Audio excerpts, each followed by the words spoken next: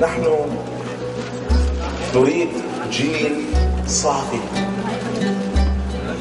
في بعض المصريين لا يسمع ولا يتأثر إلا بمصري.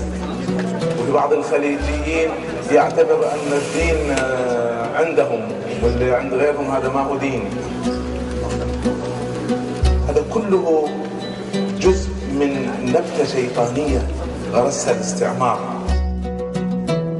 أقامت مؤسسة يقظة فكر مؤتمرا حول مبادرات تؤدي للتنمية في مصر بحضور ممثلي مؤسسات المجتمع المدني لاكتشاف طرق التنمية التي يجب أن نتبناها الآن. إحنا مجموعة اسمها المجموعة العربية للتنمية الفكرية يقظة فكر. الطرح اللي إحنا بنطرحه هو طرح آه، جديد على مستوى مصر والوطن العربي إحنا بنتكلم عن حاجة اسمها عالم الأفكار. بنتكلم إن أي تغيير هيحصل في الناس أو هيحصل في مصر أو في الوطن العربي هيحصل من خلال حاجة اسمها عالم الأفكار. كل واحد عنده حاجة اسمها أفكار بتسيطر على السلوك بتاعه. عايزين نغير السلوك يعني نغير في عالم الأفكار. إحنا بنقدم لمصر آه ناس خبراء بنقدم لمصر آه، فن يؤدي إلى تغيير الفكر. بنقدم لمصر دراسات علشان نقدر نعمل تغيير في الفكر العربي الإنساني.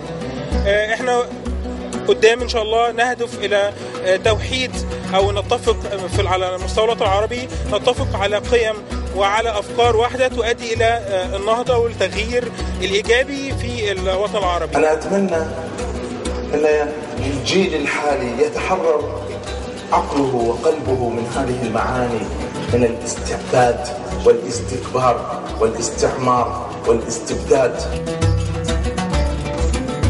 إحنا النهارده يقظة الفكر هي اللي دعتنا. هي بت بتعمل يوم بتجمع فيه كل المؤسسات اللي بتأثر في المجتمع آه، وإحنا كنا من ضمنهم وهي بتركز على الجانب المعرفي وإحنا بنركز على الجانب المهاري.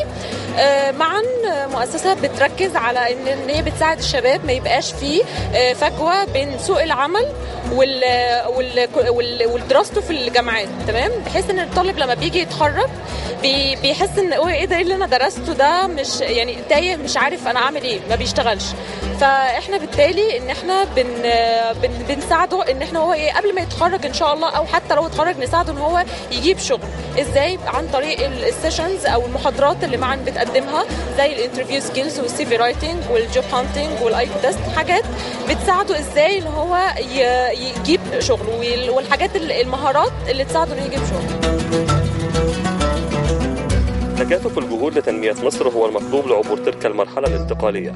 والشباب هم أمل الغد في إصلاح وإعمار مصر من جديد. هذا الجيل القادم إياكم أن تورثوهم أي شيء من آثار الاستبداد والاستعمار.